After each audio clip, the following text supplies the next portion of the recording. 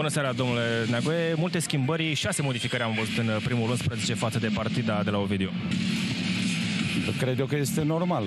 Am făcut o a doua repriză foarte modestă, slabă, din toate punctele de vedere. Am primit patru goluri într-o repriză.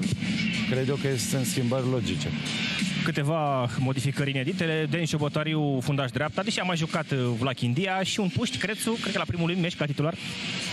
Sigur, mi-a dat foarte mare încredere, s-a pregătit foarte bine, el este un jucător polivalent, poate juca de la mijloc în sus absolut în orice, în orice poziție, un jucător cu calități foarte bune. Eu am mare încredere în el și o să vedeți în această seară că este un jucător de mare perspectivă. Echipa Craiovei, cum vi se pare? La ce vă așteptați? Oh, echipa Craiovei, chiar dacă au doi jucători indisponibili, până la urmă sunt nouă jucători practic titularii din echipă. Să zicem că au doi puști care normal trebuie să, să joace sub 21 de ani și Martiș care apare fundaș central. În rest, știam că așa va, va începe cu cei trei în mijloc, Mateiu, Cicâldău și Ivanov. Bănuiam, de fapt, nu știam. Chiar am discutat cu băieții înainte, înainte de joc. Surpriza, sau dacă se poate numi surpriza, a fost introducerea lui Martiș fundaș central. Cum credeți sau cum sperați că se vor comporta suporterii Dinamo în această seară? Eu mi-aș dori ca suporterii să, să fie lângă echipă, să încurajeze echipa, băieții și la final, în urma unui joc bun și un rezultat bun, asta însemnând victoria, să ne bucurăm împreună. Mulțumesc și mult succes, domnule Bună seara, domnule Papură. Cât de greu va fost să încropiți o linie defensivă pentru meciul din această seară?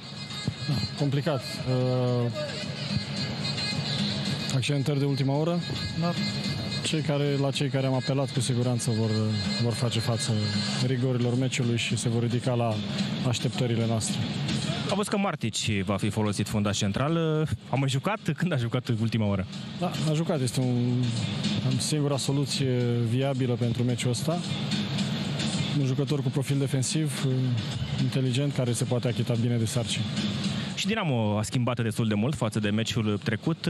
Cum vedeți această partidă? Unde credeți că se va decide meciul? Unde se va face diferența? Da, cred că în plan mental. Cât de, cât de bine vom sta în plan mental. Nu știu, să nu, să nu ne influențeze foarte mult tribuna. Gazonul, credeți că va pune și el probleme echipelor?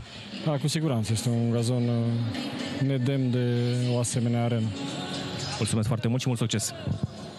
Da, cei doi antrenori care au pregătit surprize pentru meciul de